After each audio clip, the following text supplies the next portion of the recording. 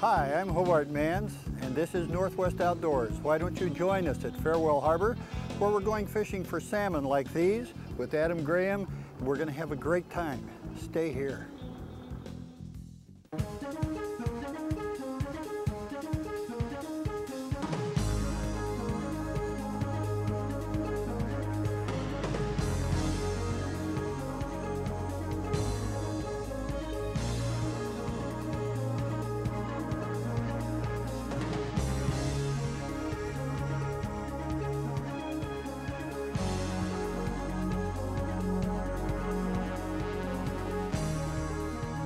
Funding of Northwest Outdoors is made possible in part by O'Loughlin Sports Shows.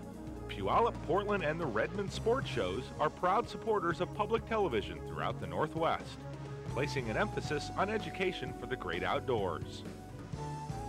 By Kershaw Knives of Portland, Oregon. Makers of precision tools and cutlery, Kershaw Knives continues to support outdoor programming and outdoor activities throughout the Pacific Northwest.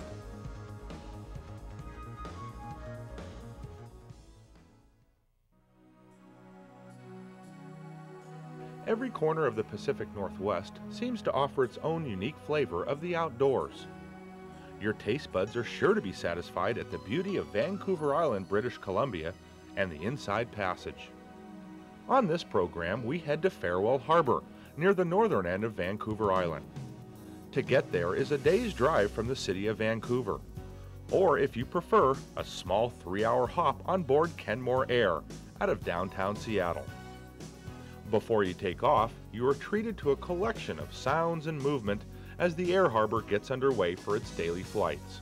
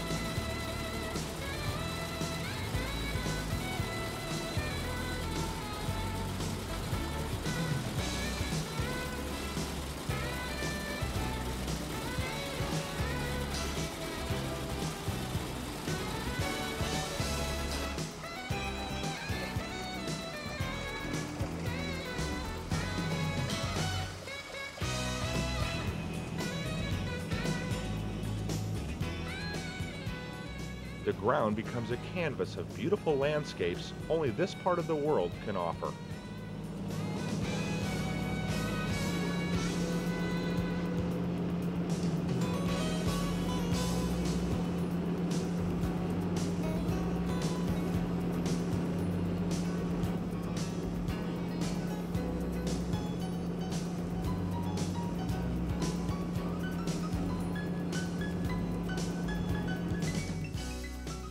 Harbor Resort is located on Berry Island, in the middle of Blackfish Sound overlooking the Inside Passage. This area is in the heart of some of the best salmon and halibut fishing, as well as fly fishing on the western coast of Canada. Join guide Adam Graham as he and Hobart Manns ply the waters of North Vancouver Island.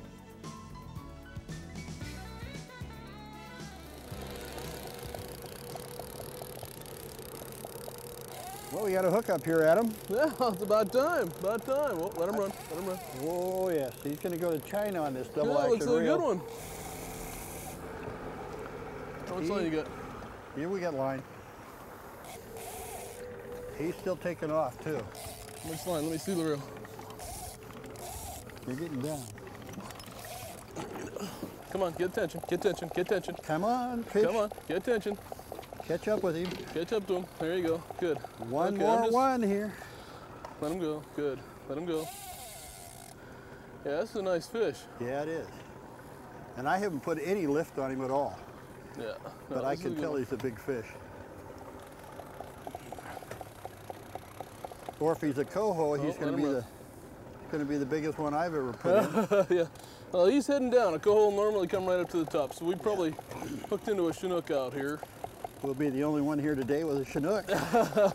At least so Well, it far. is, it is getting close to the end of our Chinook season, but it's not uncommon for them to catch us, catch them at this time of year. So, Your as Chinook as you- season, my Chinook season is all year long. Oh, come on.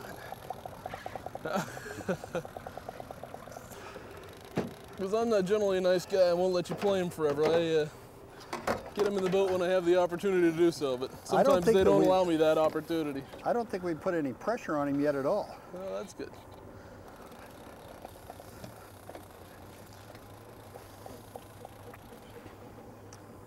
That first run with the, the pressure must have been a real killer because he's coming part way. Well, he may just be conserving his energy. Well, here's the here's the fish. Oh yeah, nice fish. It We- looks like we got him hooked in the. Oh, we got him hooked in the mouth. Nice fish. Yeah, he's one tired puppy after that big long run. Okay, let's just need the net head, and here we go. Got him. Nice fish. And look at the hooks. Came right out in the net. that's because you're a professional, Adam, and you get to fish with novices. Well, that's the way. But look at that. Hooks came right out in the net. He wasn't hooked all that well, so I'm glad we got him when we did. So am I. So let's. Looks like a nice fish. Probably go about 25, 26 pounds. Yeah, that's a king, isn't it, Adam? That's Yeah. what we've been looking for. It's not? a it's a chinook, yeah. Okay, nice fish. All right. Boy, look at the colors on that fish. Beauty. huh? Gold and green, and Yes. yeah, that's a nice fish. Beauty. Look at the color in that. Lot uh, this time of year, we get a lot of fish in the 20, 25 pound range that are like that. They're real gold Yes, flecks through. got that under underlay of green and, and bronze. It's going to be a beautiful fish. Yeah, you betcha. You bet. And he's really long. Really. Very, very long and thin. Very Yeah. long and thin. Yeah. And uh, a lot of times, what this is good, um, indicative of are fish going up uh, real steep inclined rivers. Yep. A lot of the glacier rivers on the mainland are like that. They're very short, but very steep. And so these fish, they need the leverage in the tail to be able to get up those long rivers like that. Dandy. Well, Heck of a fish. Uh, close to 30. Uh, I don't think so. not, Oh, not, come on. not quite thick enough. Quite not, not quite thick enough. I'm. It may be less than 25, but it's Well, you know what? it's a hell of a fish. Two no years ago, I was here at this very same spot with this very same guide and did this very same thing. and the fish took a long time to land. Yep. That's a You hell of a done fish. good, Adam. Well, I try. I try. I Ah, try. you, do, you people up here at Farewell do wonderful.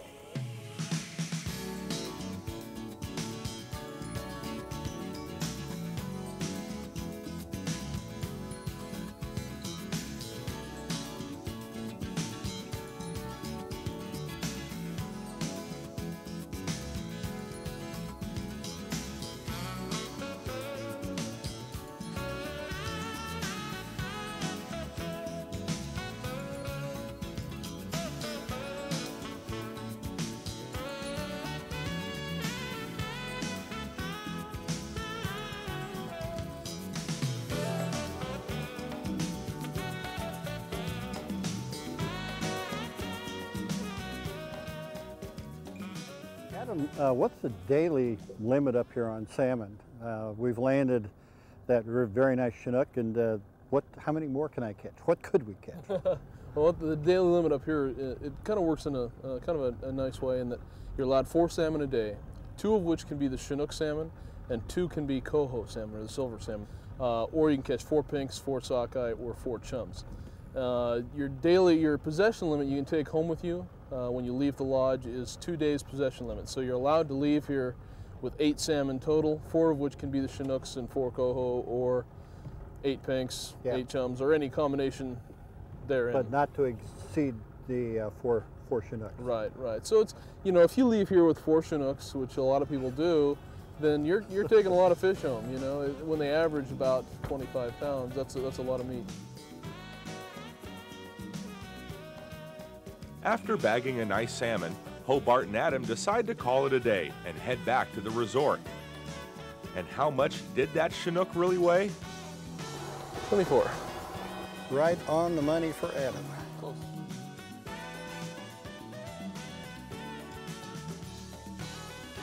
Located on Berry Island, near the northeastern tip of Vancouver Island, British Columbia, Farewell Harbor Resort is complete with deluxe accommodations, gourmet food, and a full service staff. It is listed as one of the finest fishing resorts in British Columbia.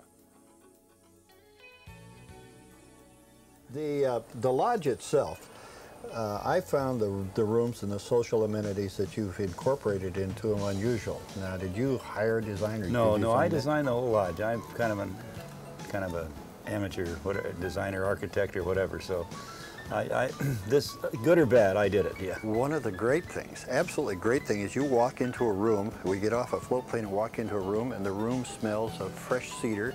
It smells like you built this facility yesterday, and I know that, how long has it been up? Well, it's, it's 15th year. Yeah. 15 years and Well, we, we, we don't uh, kind of plan that, but the, the neat thing, I have caretakers, and one of their responsibilities in the, during the winter is that any bright, sunny, nice day, they air the rooms. So the, the rooms are aired seven months while we're not here, Yeah. and uh, off and on, and that helps. And- we're only open about four, four months. One of the other things that you do that is both comfortable, highly comfortable, is that you have a split day format in as much as uh, uh, we get up and have uh, breakfast and where do we go from there? Well, I, I believe it or not, the, the the daily routine was pretty much tailored on the way I felt about life. I mean, I I uh, I don't personally want to spend nine or ten hours a day on a boat, just eh, you know through all the dull periods and this and that. So I understand that getting beat up out there. yeah, and, and most of our guests don't feel that way. So we and we have remember an awful lot of our guests are are over the 50 mark, and uh, an awful lot of executives, and a lot of we have a lot of couples, a lot of ladies, and uh, uh, getting up early is is fishing. So we have we have no problem with people getting up and no problem with the rain, but that three or four hours out there is enough, and. Uh, so we, we do that early morning fish, and as you know, then the rest of the day we fish the tide.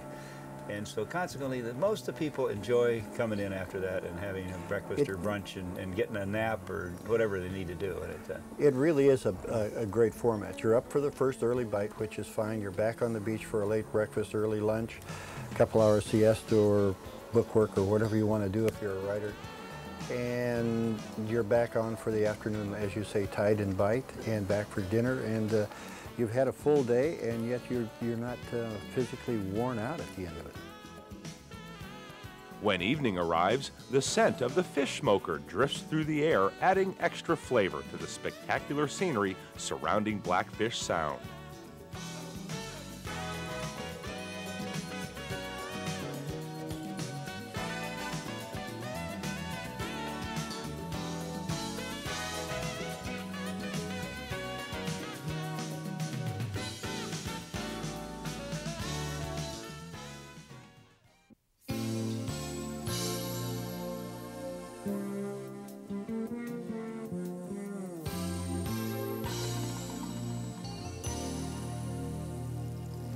Like Adam's got one on over here. Okay, coming up to the top here, probably a big coho. Oh, there we go, little jump, little jump.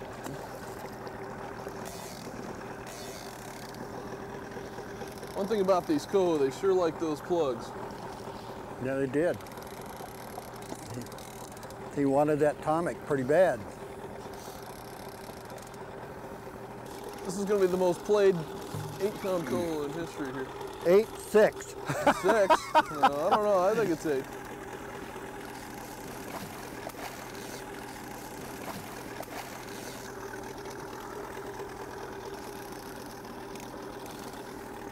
So much for the coho being the best pound per pound fighter of all the salmon. this one certainly isn't doing much.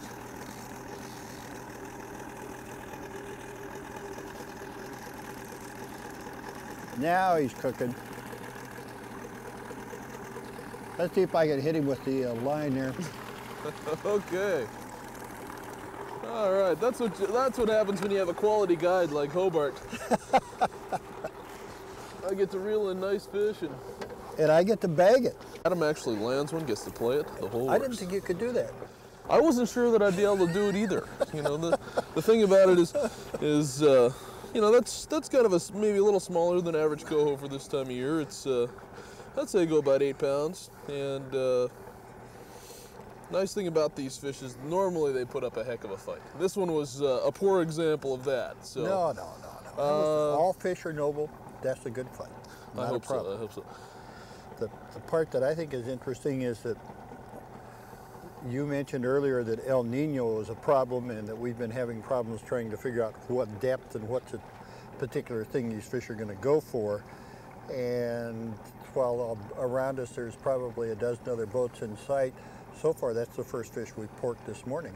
Well, that's true. And uh, so you can't really say what we're doing is bad or the fact that you landed it is bad actually. It's a bonus. Oh, I, I agree with you there. I agree with you there. Yeah, it's it's been a it's been a funny year for fish with, with uh, everything that's been going on with all the commercial salmon disputes and and uh, El Nino. Our water's about seven degrees te- uh, warmer than it is in normal years, which has got to have some sort of effect on what the fishing's been doing. We've been catching fish uh, much deeper than we normally have, which is you know has to have some sort of effect or some sort of uh, just have some sort of effect or some sort of uh, you know Impact. impact on what what we've been doing here and whether that is why there seems to be fewer fish around this year uh, or whether it's all the commercial pressure from Alaska and British Columbia both it's uh, it's been strange trying to figure it all out this year it makes it a good challenge for us guides I'll tell you that much Fishing is one thing and catching something else. And when the fish go elsewhere, probably that's what makes angling such a, a real challenge and a real sport is that you constantly have to relearn what you're doing on a daily, day-to-day basis. And that's very true, especially out here where there's so many different runs of fish coming through and so many different areas you can fish around here that it really makes it a nice challenge every morning waking up and there's so many different ways and different places to go and try and catch these fish that are out here. Uh, you know, the fish are here. All of our guests have been leaving with fish this summer and, and uh, going home happy. But uh, it, it's always fun when you when you have a year like this that uh, the circumstances change in every direction, and you're, you're it definitely challenges you and challenges your ability to get out there and, and catch fish for your clients. It's uh, it's certainly a Well, let's go catch your clients some more fish. We'll put these eagle claw hooks back in the water. and I'll put this one back in the tub, and we'll have that for dinner later tonight. We got it. Okay.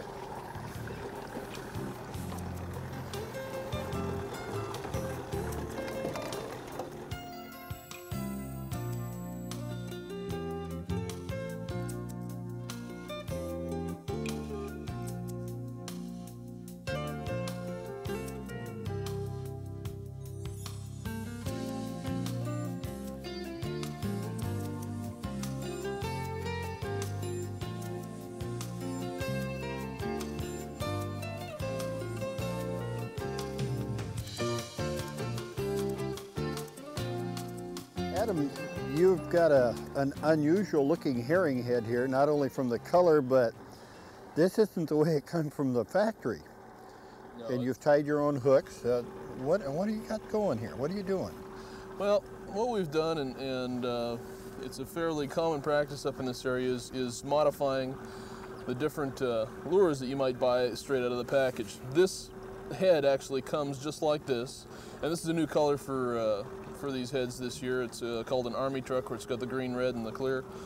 And what we do is we take oh about a 18 gauge uh, wire and we modify it and we put uh, drill a couple holes through the head and insert this wire and then what we do is we take this wire and we insert it in through the length of the herring and what that allows us to do is to actually modify the roll of the herring have so much more control over what we do as far as the way the herring spins and uh, let's get a toothpick here toothpick that holds the herring in place. Just put it in and break it off. Put it in, break it off.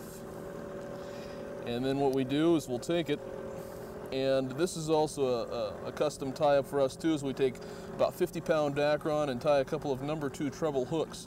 When you buy it all set up and re-rigged in a package, it comes with one single treble. We like to have that trailer treble right on the back there, the same length as the tail, so that catches them more often than not when that fish comes from behind and, and grabs that fish. So now that we have that wire inserted in the herring, we can take it, and a favorite bend of mine is just to put a little kink in the tail, just like that. And uh, that, that gives that herring just a little extra flip, and I think it makes it more attractive to those uh, big coho and big chinooks that we have out here. Yeah, so, it would. You can give it any kind of a roll you want. You make it the tight spin, a wide spin, big slow roll, tight roll. Uh, ideal way to do it, and it's a lot simpler than uh, running the hook through it twice. And I like the stinger hook. I Yeah. did, so many fish will come up and take a strike or a flash and a flare at it, and really not take the bait, but those stingers will uh, pick them up when they when they make a grab. Well, that's for sure, and, and, and being able to modify that herring to all different roles is, is very important. When you're fishing coho, you, you generally want a tighter, faster, you know, uh, kick to that bait. But when you're fishing for those big uh, Chinooks, slow roll, that's the key, and, and uh, being able to adjust your, your bait any way you want it is, is, is a nice feature. So that's why we do what we do to this herring head. Do they make that head in different sizes so that uh, you'd accommodate a bigger herring or a smaller herring? Yeah, this is actually an anchovy head. Yeah. Um, but we we've always used them for the herring. We like the action a little more. You can actually buy a full-sized herring head for these. Uh, it's got a little different action on it, a little bigger, slower uh, roll to it. We like these ones. We can we feel we can adjust them more. This time of year, the smaller bait's a better thing with these fish anyway, I would think. Generally, yeah, especially when we're fishing for these coho like we are. It's uh, uh, smaller's a little better, I think. You've got a lot of lures and stuff in here that uh, we probably don't see a lot of. I think I'm familiar with the uh, atomic plugs, and you've got three of them here, and uh, they're not all quite the same. What You've changed some things here. What are you doing to these plugs? Well- Looks like you're tearing them all up or something. Well, again, getting back to modifying uh, factory uh, lures and stuff, here's how a Tomic would arrive in a package like this with a single hook and the pin running through the middle of the plug. What we do is we take uh, a, the pin out and, and remove that single hook, and so what happens is you'll have this unit right here, which basically has a single hole that runs right through up to the top. So what we do is we'll feed that line right through the top of that plug so it comes straight through. And instead of having that single hook on there, which some people like single hooks, I'll take a set of t- a tandem treble hooks like we saw in that herring, and I'll put that, tie it through on the bottom. And so instead of having a single hook on there, you've got that stinger hook that you and I like so much hanging right off the back there. So they tend to hook more fish uh, with this setup, I think. Probably six to one. You've got six points to work for with as opposed to one, and the modification probably is going to allow that lure to have a lot more activity in the water because it's going to be freer to do what it wants as opposed to a hard knot tied to the end of it. What, what this allows us to do as well with taking that pin out, because we, we troll so slowly with herring, is that this, this plug has a lot more action at a slower speed, which is important. And so the plugs are a very integral part of what we do up here fishing wise. Catch a lot of fish on them, and so this modification is another one of our little things that, uh, that seems to work really well.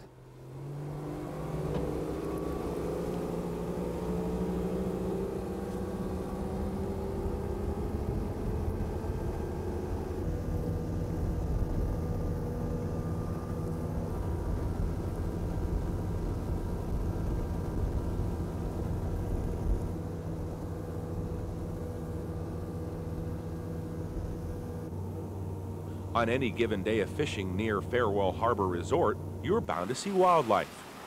On this day, a school of Pacific white-sided dolphins and Dall's porpoises decided to play right next to the boat.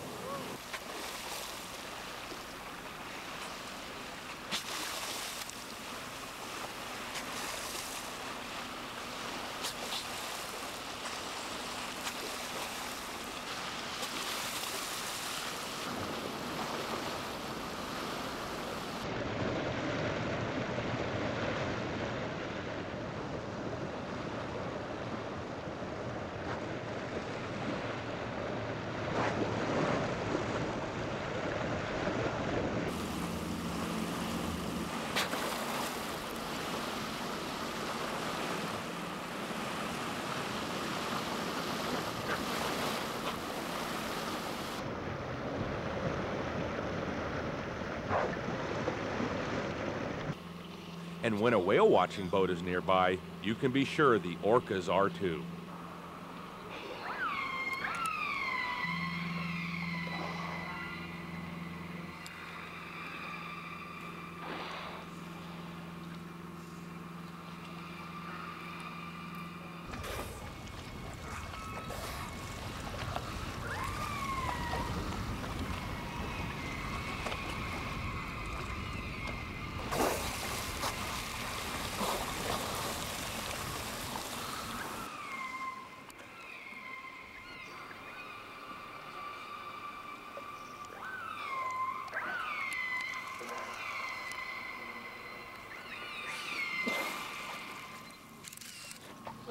Look at Hobart there.